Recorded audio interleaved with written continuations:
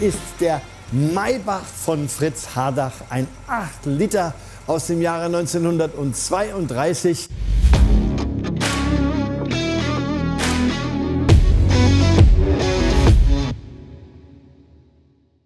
Fritz, du bist auf der rechten Seite ausgestiegen. Wie kommt das? Lass die Tür ruhig einen Moment offen, dass die Kamera mal reinschauen kann.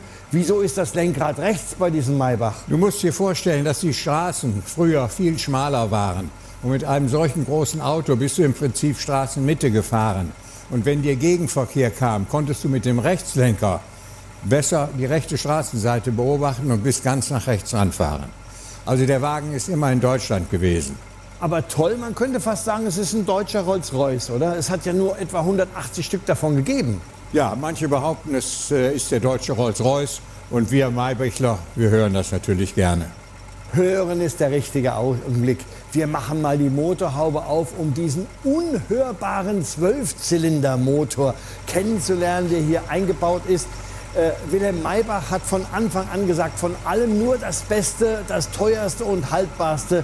Er hat es Zeppelin genannt, um deutlich zu machen, das ist ein Motor, der auch in einem Luftschiff nie versagen wird. Aber Fritz, ich glaube, der war überhaupt nie in einem Zeppelin eingebaut.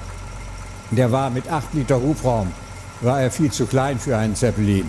Die, mit einem Zeppelin zu verreisen, war der absolute Luxus. Und das sollte der Schriftzug Zeppelin sein auf der Erde. Der Luxus ist mit einem DS8 Doppel-6 8 Liter Hubraum zu fahren. Daher der Name Zeppelin. Wenn man jetzt hier reinguckt in den Motorraum, das ist schon äh, hochkarätigste Technik, die beiden V-Reihen nebeneinander. Ja, wunderbar, auch nachgedacht, sehr einfach.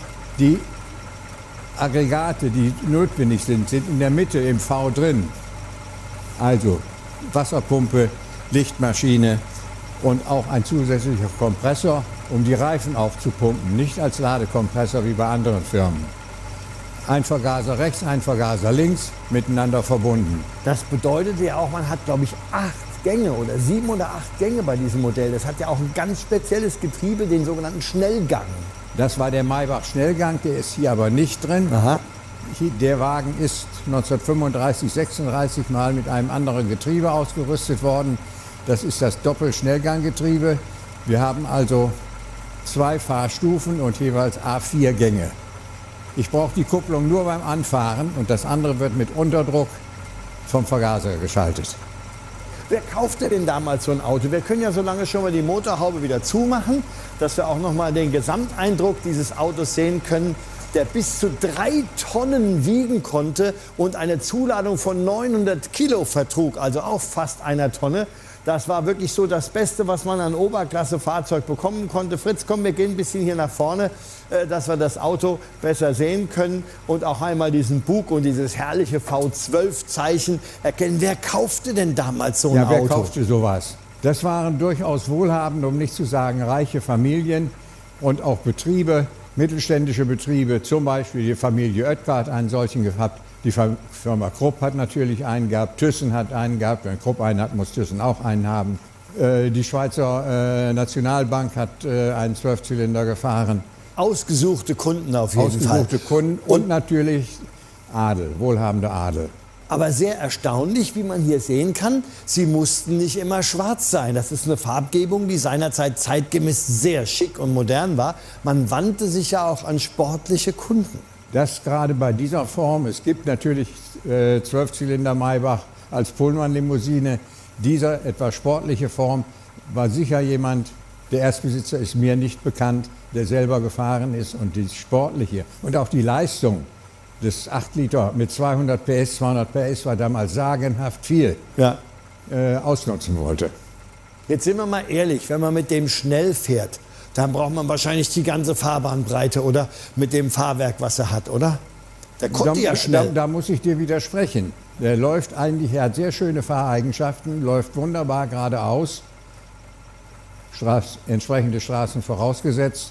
Und es ist auch heute kein Problem, mit diesem Auto noch einige hundert Kilometer hintereinander wegzufahren.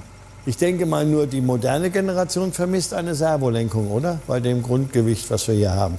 Insbesondere beim Einparken. Das ist natürlich etwas schwierig bei drei Tonnen Gesamtgewicht oder beladen dreieinhalb Tonnen vielleicht. Aber ich denke, wer einen Maybach äh, fuhr, der kümmerte sich um eine, nicht um eine Parklücke. Der hat da geparkt, wo er wollte. Ja, Maybach, die Krone des Automobilbaus in Deutschland bis 1940. Das ist der fabelhafte Maybach DS8 von 1932, der Zwölfzylinder von Fritz Hardach aus Oldenburg, bei dem wir uns ganz herzlich bedanken. Das ist das richtige Auto zum Saisonstart. Denn Bremen Klassik Motorshow, wir starten die Saison.